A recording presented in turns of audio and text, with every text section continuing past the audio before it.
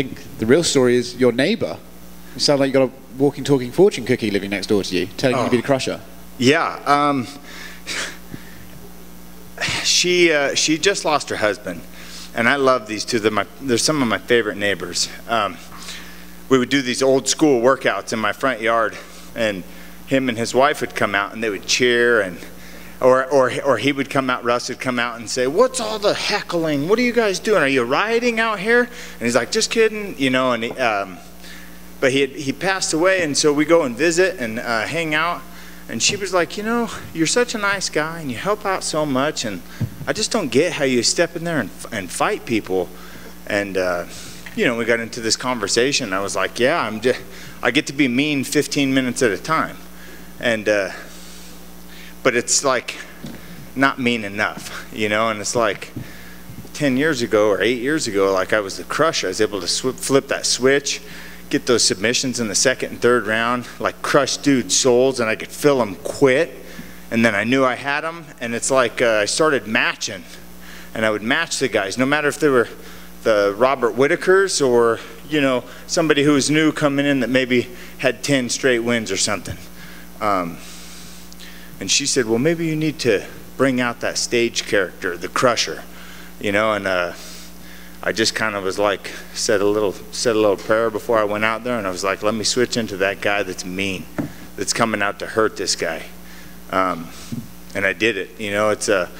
I got close to finishing that arm triangle, and I felt it slipping a little bit. I tried to readjust, and then after that, he came out really hard because I, you know, it's like you hit a hard submission, sometimes you fatigue your shoulders or whatever, and, you know, and it's like you lose a little bit of momentum and they come back hard. And he did. And I felt that slipping, and then that stage character came out, and it was just like, hey, let's just keep on going. Um, the shots were there.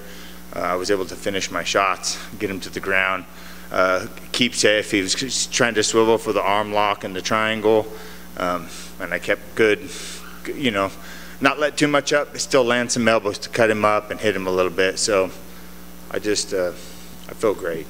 What was your neighbor's name? Mariana Heard. Shout out Mariana. Yeah. She's gonna love that. Yeah. Do you think? Does she watch your fights? Does she always tune in? Yeah, she has off and on. I think maybe she gets it from my neighbor Brett, and then he kind of gives her the play-by-play. But she might have been watching this time. Cool. I don't think she likes the, the, you know, it's a little, a little rough. Getting in, it's a fight. Yeah. She's like a 70 year old lady, right? Yeah. Probably not the demographic for the. Yeah. I don't know, man. There's a few out there.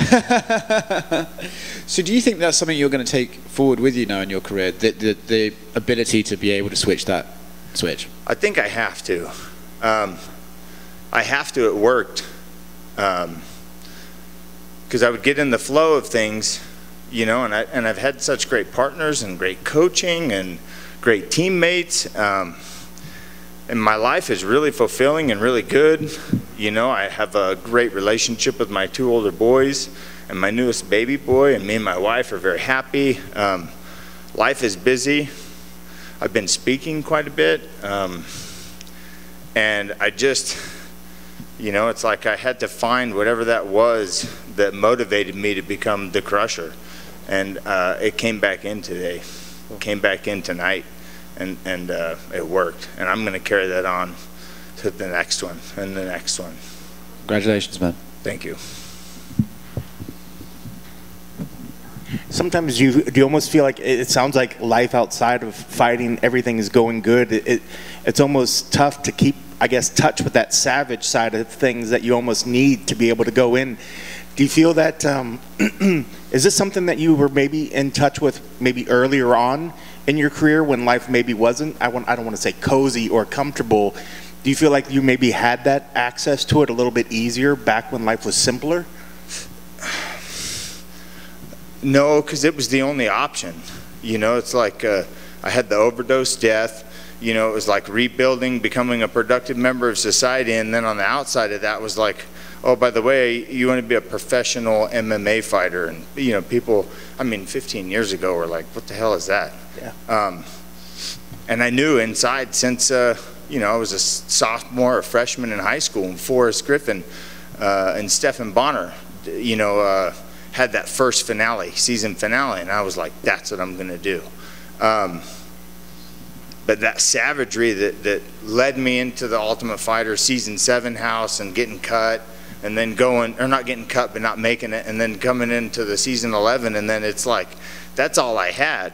And um, once I made it into the UFC, it was like, uh, I realized that you did, you, once you make it, you didn't make anything.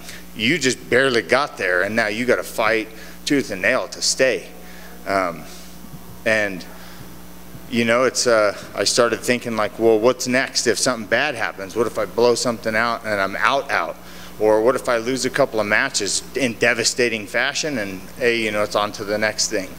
And so it's hard to stay focused on just that one thing, especially when I have uh, children, you know, that rely on me and um, um, you know, and all it takes is a couple of nasty knockouts, dude, and you're, uh, and everything changes. Um, and so sometimes I just had a hard time with that. Hey, man, it's got to be all or nothing. And I don't care what anybody says. I know in my experience, like, this is my primary source of income. And so I have to focus almost all my energy on this and I would have a little bit of energy for the speaking and a little bit of energy for this and oh man uh, what am I going to do next? And sometimes um, it leads you away from that goal of becoming that savage in the fight um, but I was able to bring it out tonight. And I, don't, I mean I don't know maybe it was a mixture of that maybe it was a mixture mixture of, of desperation maybe it was a hey man it's all or nothing now. Um, but man, it felt good. Do you feel like you're? I mean, I know when we look, a lot of times people say, "Oh, I'm on three losses." You know, that's you know my back's against the wall. But this is three losses over a long, a decent period of time, going back into 2009, uh, 2019 with some of the other ones. But did you go in there feeling that your back was against the wall, even though you haven't been in there as as much as as as as a as not against the wall. It was more a fight in in my own head. Gotcha. Um, because I know how well I do against some of the top competitors in the world, you know, and like uh, um, training partners, you know, and uh, I still feel like I outwork almost everybody in the room, and I know inside how how good I can do. Um, but knowing that and then doing that is two different things because uh, it's different when you're in there it's different when it's just you and it's just him. Um, and bringing that out uh, is a challenge in itself. I mean, ask anybody if they're honest with themselves. You know, it's like sometimes they'll have spectac- like spectacular practices, but uh, putting it together in the in the octagon is a little bit different. And it's like, how do you bring that out? Um, and that's that's a process. You know, it's like I think I've had 50, over 50 rounds, you know, at the highest level in the world. And it's like, not all of those rounds have been excellent. Some of them have been a fight, some of them have been, um, but man, I felt good today. So, what do you think is the, the key to, to kind of keep going forward? there? Because I know you're trying to balance with speaking engagements and you're trying to, you have the family as well what what's the, what's the right amount of fights to keep you at that level? Do you think? What sort of you know? We're talking two fights a year. We're talking three fights a year. Yeah, like two or three fights a year. Uh, because then it's like I can really focus and I can come out. And it's like I'm I'm 36, but I I feel better and and stronger and like in a rhythm more so than like you know, my early 30s or my late 20s. Like, and I feel like, uh, I feel like tonight when I walked in there, I was in there for the right reason, you know. And sometimes it's like I had all this extra pressure or um, uh, on myself, not anything like family-wise, or I just want to. I wanted to. It's like I don't have anything to prove to anybody, but to myself, I, want to.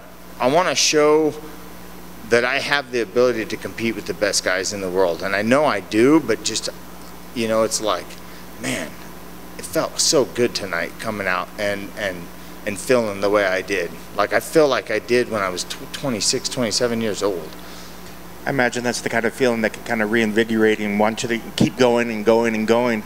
So, what is sort of the end goal? Is it about just keeping maintaining good performances where you're happy with your performance out there, or is the the, the dream still like I think I can get back to a point where I can try to go Good for a title performances and just elevating that a little bit at a time.